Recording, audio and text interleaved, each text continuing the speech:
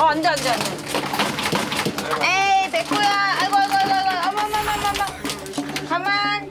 우당탕탕 난리법석. 거세게 반응하는 백구. 백구야. 세상에, 야, 너가 세 마리 중에 제일 늘었거든? 너는 구르기를 좋아해서 해야 된다고. 맞아. 사람한테 입질하고 그러면 어떡해. 그런데 방금 또 그랬어요? 그런가 봐요. 두 분 다. 찍혔어요? 지금 여기. 남자 대표님도 손등 보면은 찍혀. 발버둥 치는 백구를 만지는 사이 순식간에 생긴 상처. 우리 사람은 조금 만지면은 야 진짜 마지막 경고다. 만지지 마라. 이렇게라도 할 수 있는데 얘네들은 할 수 있는 그게 이거밖에 없는데 뭐 어떡해. 아 그러면은 두려움에 입질까지 하는 녀석을. 어떻게 진정시킬까 고민하던 정민 씨. 대책을 세워보는데요. 앞뒤로 열린 문을 최대한 닫아 낯선 시선들을 차단하고 안정적인 공간을 확보하기로 한 겁니다. 됐지? 조금 안정감 있어졌어? 과연 진정이 좀 됐을까요? 나도 준건 무섭다. 응? 네가 얼마나 싫어할지 꼬리 좀 줄래? 일어나. 조심스럽게 시작을 해보는데요. 뒤로 내빼며 다시 이빨을 보이는 녀석. 에이. 백구. 이대로는 안 되겠다 싶은 정민 씨. 백구. 백구의 눈을 뚫어져라 응시하며 기선제압에 나섭니다. 잠시 후 슬그머니 눈을 피하는 녀석. 정민 씨를 이길 수 없다는 걸 깨달은 듯하죠. 백구 나는 물면 안 되는 게 지금 뭔가 텔레파시가 우리 통하고 있지? 가볍게 귀청소부터 시작하는데요. 일로 와봐. 이번엔 발바닥에 털을 밀착해 언제 입질을 했었냐는 듯 세상 얌전해진 백구입니다. 응? 아이고 여기 털 많이 자랐네 그새. 백구야?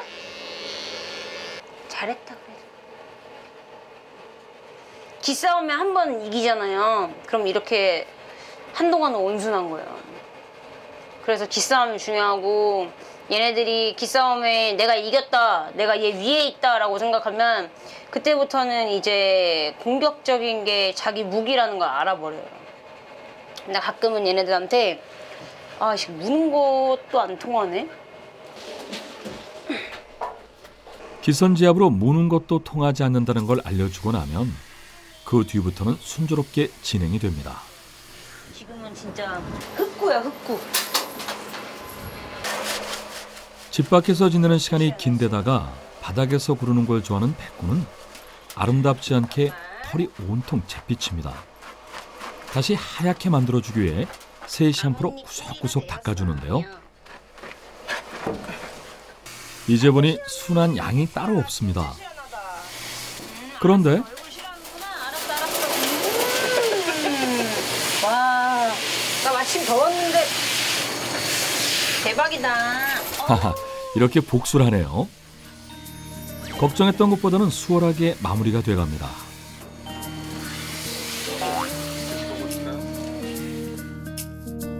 강하지만 따뜻한 정민 씨의 매력에 푹 빠진 걸까요? 마법 같은 손길 아래 뽀송뽀송 하얗게 피어나는 털들. 이제는 마치 목욕을 좋아하는 것처럼 보일 지경입니다. 와, 이제야 흑구가 아닌 백구로 돌아왔네요.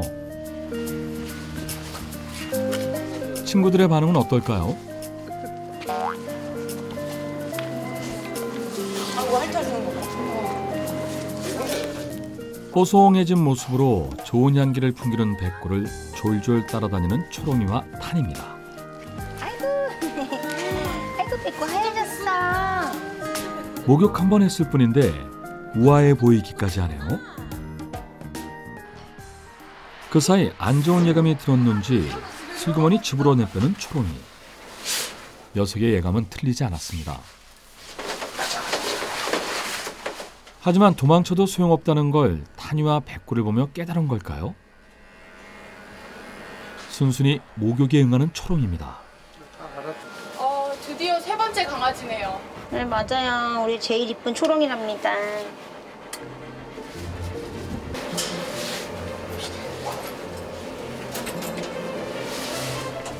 마지막 고객인 초롱이까지 무사히 목욕 완료. 야 이쁨 줘봐. 아이고 이뻐라. 초롱이 한번 만져보세요. 너무 부드럽지 않아요? 세 마리 모두 윤기가 자르르 흐릅니다. 완전 부드러워졌죠. 너무 좋아요. 벨벳 같아요. 제가 더 개운해요. 이렇게 저 제가 시켜줬을 때보다 확실히 더 만족감이 있으니까요. 단체 고객을 상대하느라 다른 날보다 두 배 이상의 시간과 힘을 쓰긴 했지만 그만큼 더 보람된 시간. 늠름하면서도 사랑스러운 녀석들을 보고 있자니 절로 힐링이 됩니다. 새벽에 집을 나와 12시간 이상을 일한 정민 씨. 많이 피곤해 보이는데요. 아 그것도 힘들죠. 안 힘들다고 하면 거짓말이죠. 솔직히 말하면. 이렇게 잡고 있는 이 손을 저에게 주지 않기 위해서 엄청난 힘을 쓰는데 그 힘이 성인 남자가 작정하고 손을 너한테 주지 않겠다 했을 때 파워가 나와요. 그래서 이제 아, 집 가면은 그날 하루 종일 손이 아파요. 하루 종일. 제가 일하면서 끌어올릴 수 있는 모든 에너지는 아이들한테 발산을 하는 편이기는 해요. 좋아하니까 그리고 내 일이니까.